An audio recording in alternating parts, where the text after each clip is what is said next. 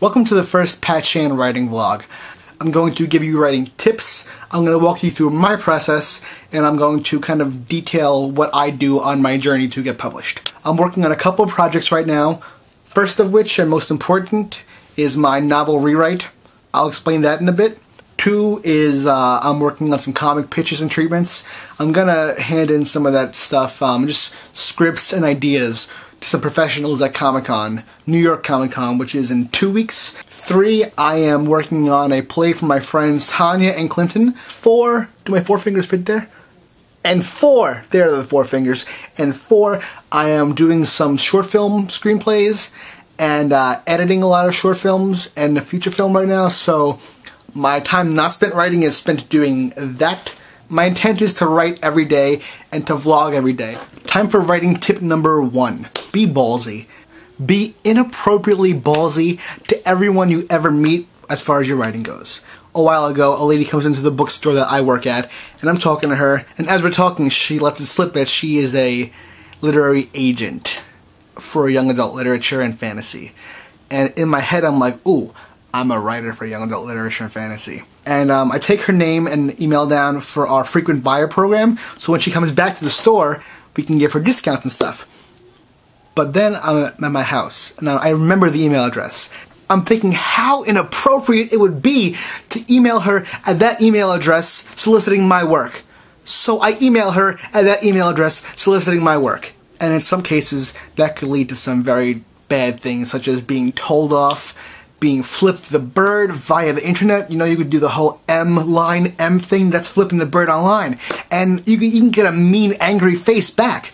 But I didn't get that. I got a, I'm interested, I remember you, here's my actual email address, so from now on, do that, but send me your stuff.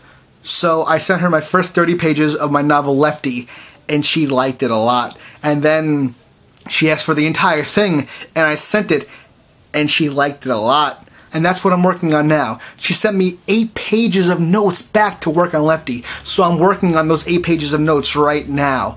Um, I've gotten a lot of work done, and here's the thing.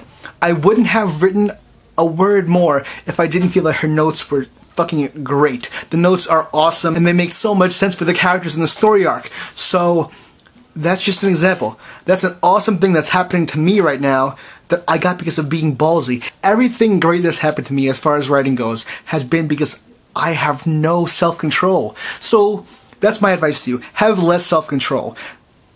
Magazines and books will tell you that you have to abide by these certain rules, and that's true to an extent, but also be ballsy too. Just like show that you're different, have a pair, and put yourself out there. Because if you don't put yourself out there, then nobody will, because people don't come looking. You have to show yourself and sell yourself. And being that guy who takes the extra step kind of shows that you're awesome. So a bit of a summary of my work today. I worked on Lefty. I wrote about two chapters. I'm going to write more and edit what I have already. A lot of this stuff is just adding more time to the arc of the story. So, so it's fun to dive back into this world again. But a lot of it is just honing what I already have too. I'm at chapter 40 right now, and I want to get to chapter 46. I aim to be done in about two or three weeks, so I want to do a lot more work today. I also want to read more too. I'm reading this great book called uh, Juliet Naked by Nick Hornby, and I want to just like get immersed in that book. But also, um, I want to make some headway on both my comic pitches and the play today. What you're going to hear about next is my self challenge and also some punishment things. I have a lot of friends who also write, so what I'm going to do is this. I am going to randomly select a friend to punish me when I don't write, and these are the possible candidates. My girlfriend, Erica Krylov, who um, is the best writer I know, and I'm not biased at Well, I, I am biased, but she is still the best writer I know. My screenwriting partner, Steven Wisnowski. That actually is how he looks in person playwright, published playwright Dennis A. Allen II. Focus on that. Look at that dapper facial hair. Playwright J. Julian Christopher. Where is he? Ah, oh, there he is. Also some pretty dapper facial hair going on there. Professor and um, editor of the upcoming Beheaded collection. Professor Dr. Jeffrey Massey, owner of Tenure and a White Beard, and maker of Amish Friendship Bread. Amish Friendship Bread is awesome. Caitlin Abbott, fellow nerd fighter, and also NaNoWriMo attempter this year. Tanya Everett. Her hair isn't actually white with black streaks. It's all black, but I was lazy. She's a writer too of short stories. Writer Scott Tipton. Writer Bill Williams, who my interview with is coming out today. And screenwriter of the upcoming movie Hop and this book, Brian Lynch.